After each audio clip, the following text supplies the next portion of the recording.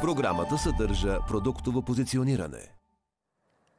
Нашия полет над България продължава и е време да внесем малко красота в днешното утро. Красотата на човешкото лице, която с времето се променя, но може би има вече и начин да спрем времето. Говорим сега с доктор Румяна Кожухарова, естетичен дерматолог, дермални филари. Искам първо да ви попитам актуално по темата. В интернет вече има така доста полемики, които се дискутират. А, трябва ли да се притесняват хората, които имат вече филари или да планират да, да правят такива с тези иммунизации, изобщо с вируса, който може да прекарат? Това, което аз имам като информация, касае три случая, които са получили леки подувания в лицето два дни след инжектиране на съответната вакцина и то само на един вид вакцина. И честно казано, предвид многото хора, които имат филари поставени, нали, това малко поражда някакви въпроси в мен лично. А, дали тези пациенти са имали за първи път поставени филари, кога са им били поставени, дали са били хилоронови, не хилоронови, а, дали не е много кратък интервал нали, между а, вакцинирането и получаването на тези странични ефекти. Но а, за всеки случай, така или иначе, пациентите са спокойни. Ние препоръчваме в клиниката, когато решат да правят а, процедури, да има отстояние 30 дни между поставянето на филари и а, вакцинацията. Сега ли е сезона, в който е по-подходящо да се правят подобни процедури? Кои са най-популярните всъщност? Разбира се, най-популярните са филари, ботокс, мезотерапии. Те са, бих казала, целогодишни процедури. Няма сезонност там. По-скоро сезонност отчитаме при лазерните процедури, радиочастотните процедури, тъй като при някои от тях има лек възстановителен период, има леко променяване, зачервяване на кожата и за да бъдем по-спокойни, че няма да развием някаква хиперпигментация, след процедура е добре нали, да ги правиме през зимния период казва, че лицата, пациентите на а, дерматолозите са тяхната визитна картичка. Каква е вашата визитна картичка? Аз много харесвам естествените резултати, които бих могла да постигна с различните процедури, било инжекционни или апаратни.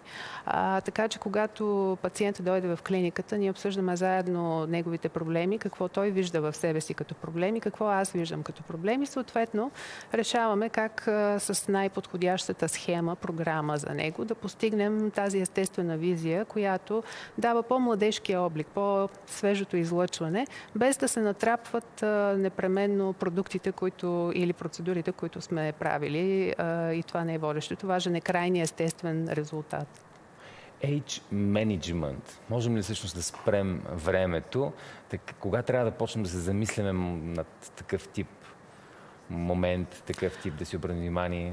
Предвид, че не сме толкова могъщи все още, има развитие на технологиите, има развитие на инжекционните продукти, стават все по-безопасни, все по-добре абсорбируеми в кожата и добре разпределени, но ние не можем да спрем, за съжаление, този процес на стареене. Но можем, като един вид превенция, да го забавим.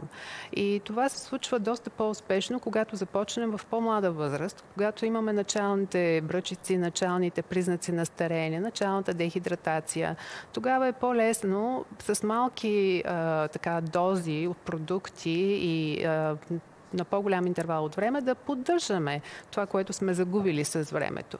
Защото когато тръгнем да говорим за интервенции в по-късна възраст, тогава се налага да включим наистина повече неща и да се погрижим и за повърхностния, и за средния, и за дълбокия слой на кожата, защото с годините те търпят промени. 28 годишна възраст, добре ли е, като мен, примерно, да се замисля над такъв, такъв тип процедури?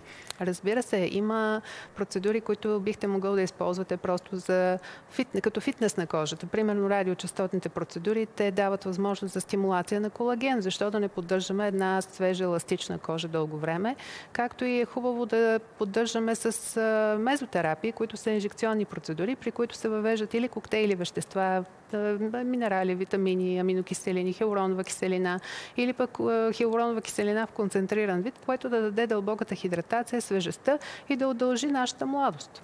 Нека да кажем, да, хиалурона е а, нещо, което е нужно на нашия организъм. Това не е а, бойно отровно вещество, базиран продукт. Mm. А, това ли са ви, кои са ви така любимите а, начини, в които да въздействате върху а, една такава корекция? Аз съм фен на програма. Програма, която включва няколко неща, за да можем да постигнем, защото старението не е еднопластов процес. И ние с тези а, средства, като филари, а, като апаратни процедури, радиочастотен лифтинг, а, ботокс, мезотерапия, ние постигаме една цялостно завършена визия, защото де-факто таргетираме всеки един от проблемите на старението.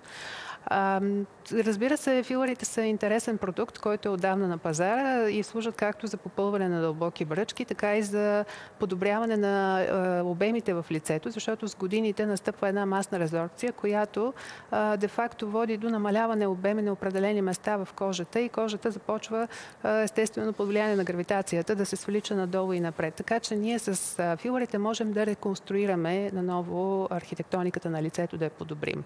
А радиочастотата тя дава възможност, когато я прилагаме, дали в по-млада, в по-късна възраст, по неинвазивен начин да накараме кожата да работи за нас. Т.е. да използваме регенерационните способности на кожата и да стимулираме едни клетки, наречени фибробласти, да се ремоделират, за да може да се оформи една нова колагенова мрежа и така да поддържаме една по-млада визия. 3D визия на лицето. Да ми обясните какво означава срещнало в, в материалите правите ми ново лице?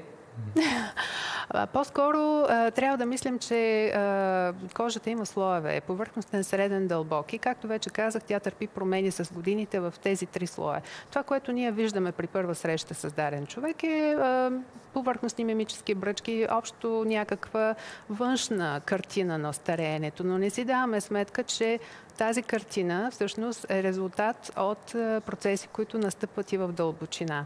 Така че ние трябва да преценим, когато пациентът дойде, какво има нужда като процедури, които да таргетират тези три нива на кожата, за да можем да бъдем по-успешни и да можем да създадем наистина една по-младежка визия. Обзалагам се, че привличат, привличаме в момента любопитството на дамите. Вие сте по-красивата част от човечеството, но гравитацията е за всички. А, кажете ми малко повече как реагират мъжете на една подобна корекция.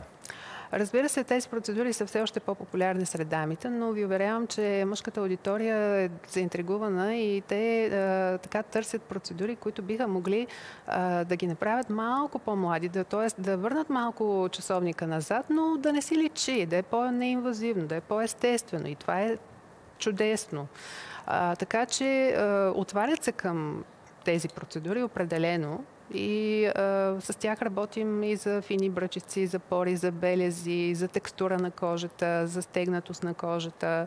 Като цяло а, също, макар по-плахо, пристъпват а, и към филари, когато примерно имат нужда да попълнят а, липсата на обем в областта на скулите, там започва едно хлътване с годините. Така че да реконструираме малко визията, без, без а, да се натрапва нищо излишно, което да ги притеснява и да ги кара да се тревожат как ще изглеждат после. Холивудските мъже, кажете, те притесняват ли се от такива неща? Е, холивудските мъже, там има други канони. Общо взето някои, които аз поне виждам на екрана, нали, не ми харесват как изглеждат. Твърде са така опънати, нали, което е малко неестествено. Аз, както казах, съм фен на по-естествената визия, по е, реалистичния, така нормален резултат, крайен, без е, излишъци. Много благодаря за този информативен, дори за мен разговор, оценявам го наистина. А, това беше изчерпателният ни разговор, свързан с естетиката и красотата на нашето лице. Програмата съдържа продуктово позициониране.